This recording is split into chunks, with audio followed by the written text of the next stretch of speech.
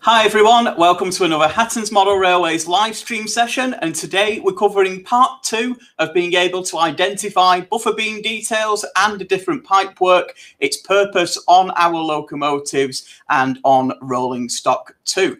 So we're covering some of the more modern locomotives in this afternoon session. We're looking at diesels and electric locos from the 1950s right through to the current day.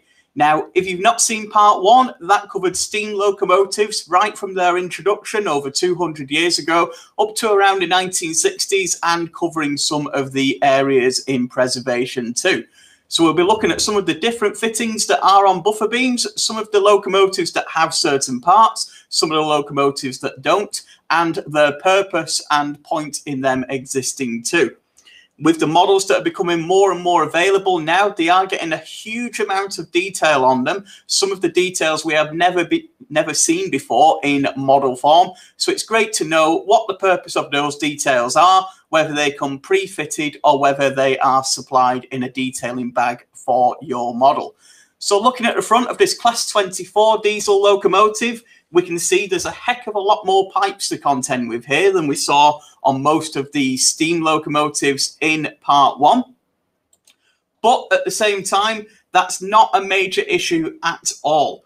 We can really start to identify those and sort out some of the complications there too. So let's head over to our buffer beam for our diesel locomotive and we'll start to pick out some of the different parts. So I've already got one labelled up there for you. Actually, we'll come back to number two. We'll start on number one. These are the buffers of the locomotive. These are the shock absorbing units. So when coupling up to other items and other trains, these will, these will take away some of the shock rather than coupling up frame to frame of the individual locomotives.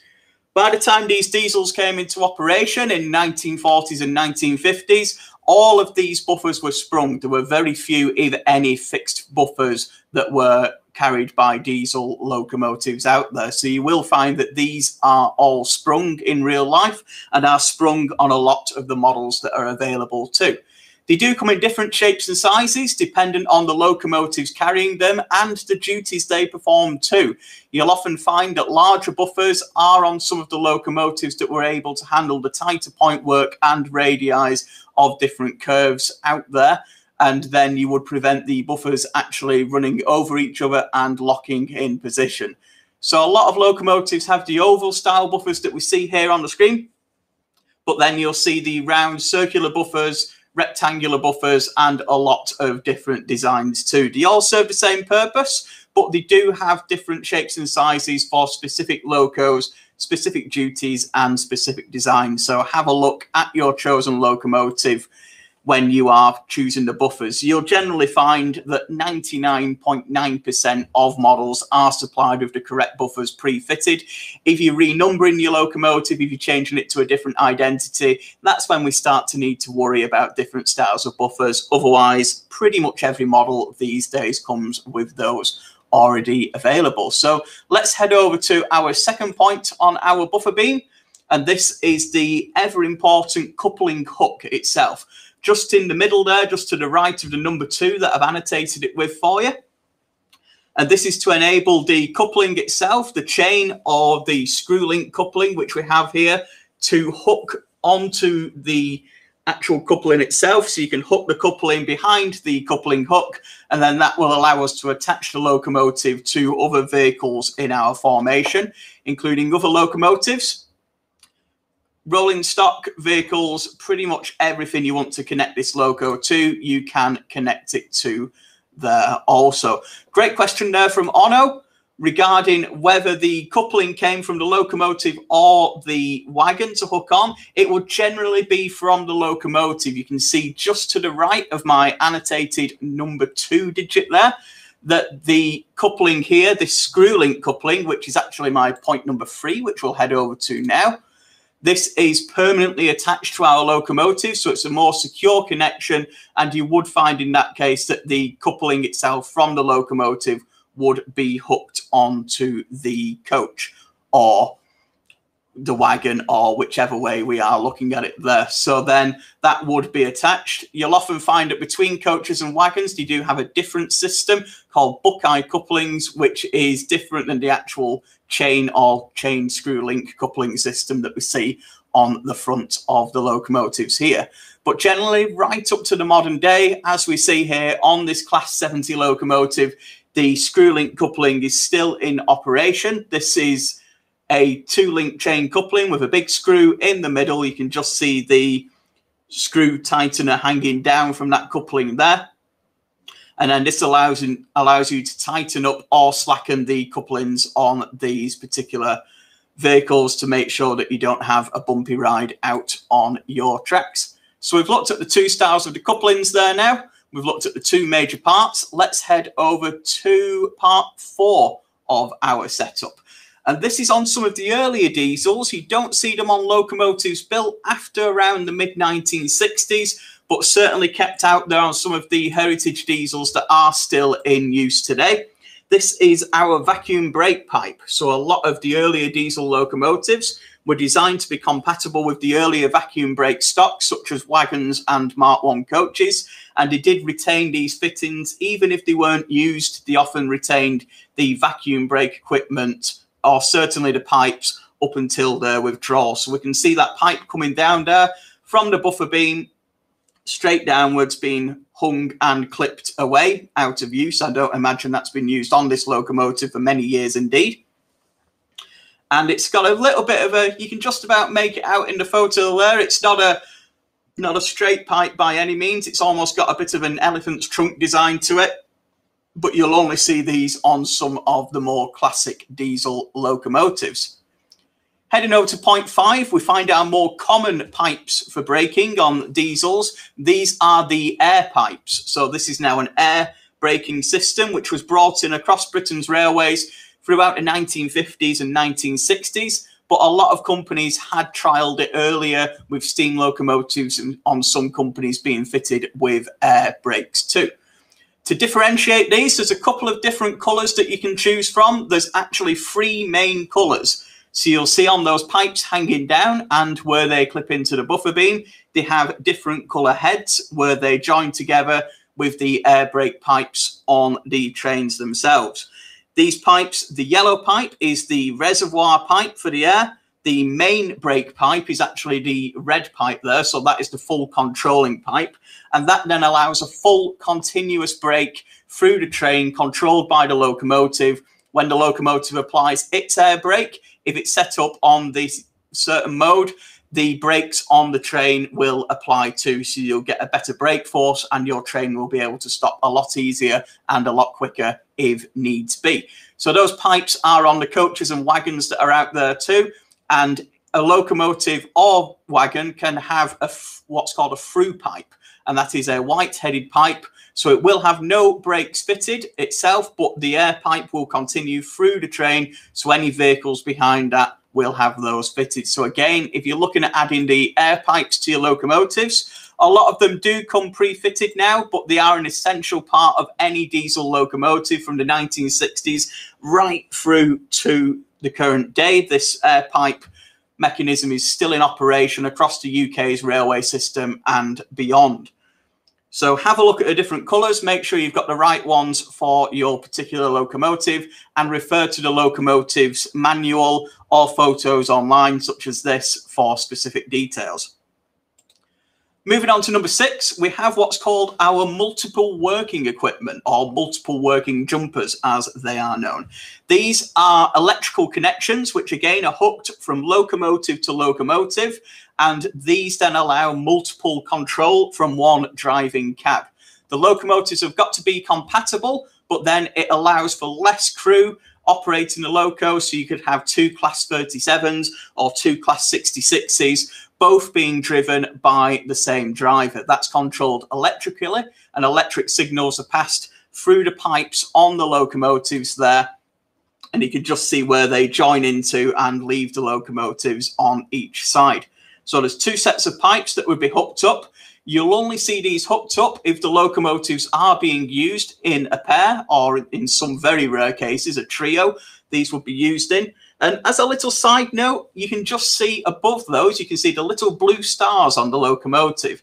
This indicates the type of multiple working that was used on this engine because not all of them were compatible. And this symbol shows that this uses the blue star multiple working system, so you could only hook this up and use it in multiple with another Blue Star locomotive. There's quite a few of those different codes. And if it's something you'd like to learn a little bit more about, let me know in the comments or in the stream as we can consider that for a future video.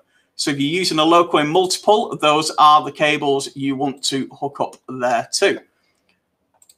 Heading over to number seven, we have some more orange cables on the front of our locomotive. As with the multiple working equipment, they're not found on absolutely every single British diesel design, but they are quite commonplace out there and similar in their type.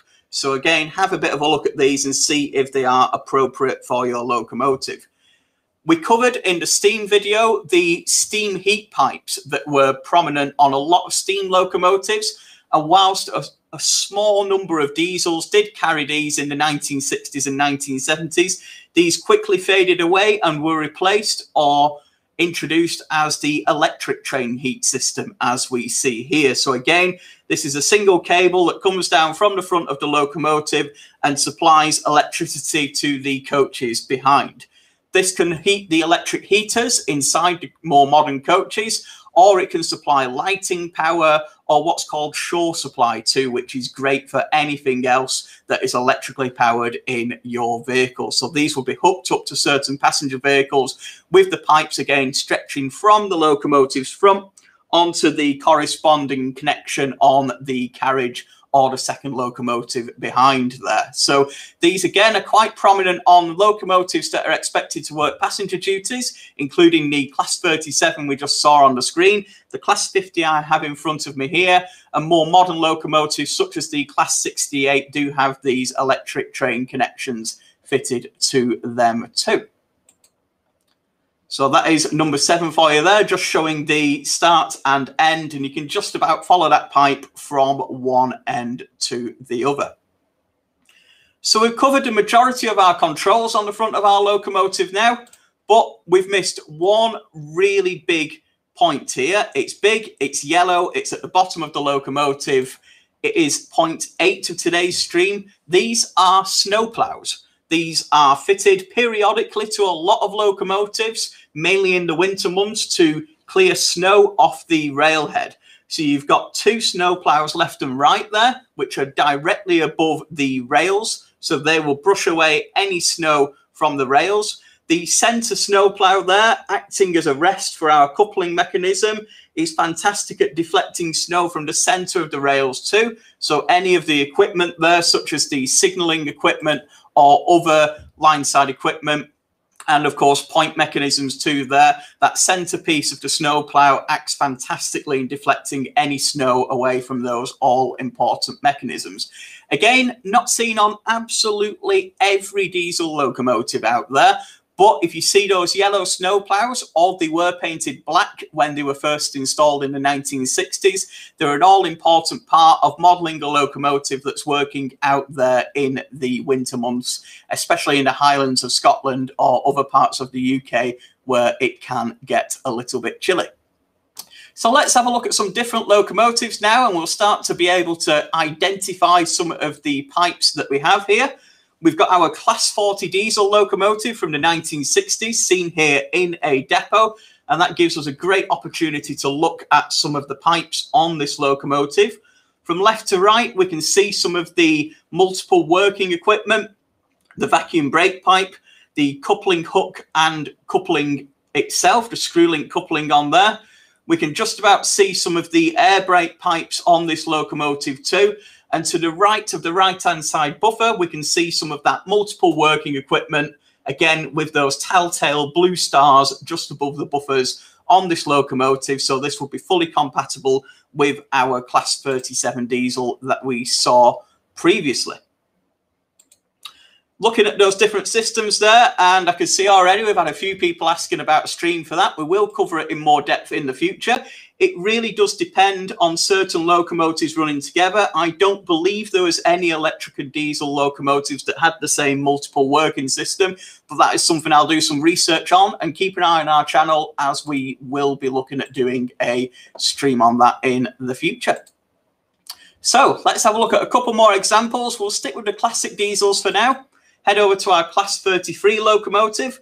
This has got a few different fittings on both the buffer beam and the front of the loco, so we can highlight some of those here. Right in the middle of the two buffers, you can see what's known as a Buckeye coupling. These are commonly found on coaches, but this locomotive was designed to work with certain types of coaches over an extended period of time. So this was fitted with the same coupling style as the coaches there with that Buckeye coupling being fitted. You'll also just be able to make out immediately above that is what's known as a rubbing plate. So this would then rub against the corridor connection of the coaches to act as a secondary buffer and also to prevent any damage there or slackening of the couplings. Whilst they're not technically on the buffer beam, they're certainly worth mention. Three more fittings on the front of our loco there. We have a bell and a light for working on the Weymouth Harbour tramway. A very rare installation, but nonetheless really exciting to see here. And then on the left and right of those, our multiple working jumpers, which have previously been located on the buffer beam, were installed on the cab front of these particular designs that you see here.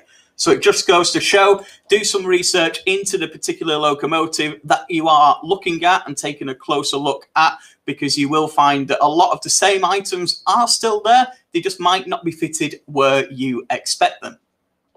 Having a look at some more modern locomotives, we have an EWS Class 66 in front of us here. With this being a freight locomotive, we have no train heating. The vacuum brake system is long since obsolete, so we don't have that there.